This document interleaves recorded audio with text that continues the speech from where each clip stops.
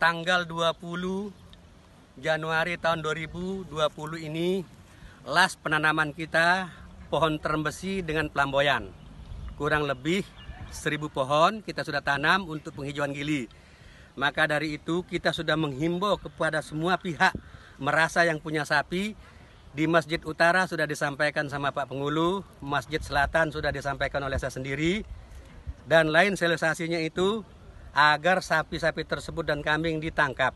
Kalau di atas tanggal 20 tidak ditangkap, maka kami akan tangkap hukumnya kambing liar, sapi liar.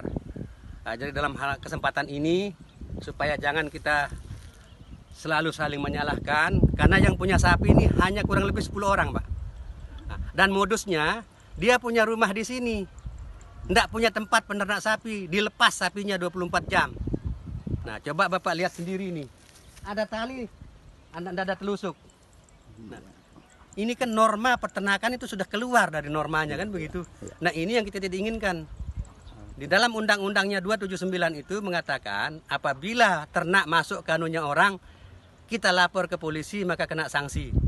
Pasal 280 mengatakan didenda 10 juta. Nah, apabila keberatan yang punya tanaman. Kira-kira begitulah Pak. Oke.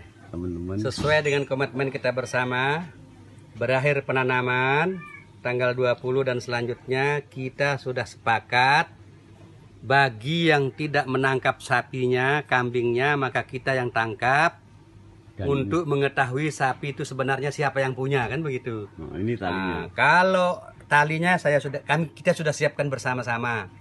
Dan nanti pengumpulan sapi itu kita tangkap atau kambing itu di depannya sebelahnya ah, Superman. Ada yang tanahnya Rais Purnawadi 15 area di sana kita stafet. cukup Ji Apabila datang yang punya maka kita ketahui foto dengan sapinya baru bisa kita lapor ke polisi kan gitu. siap Nah, kerjasama dengan Pak Kadus gitu.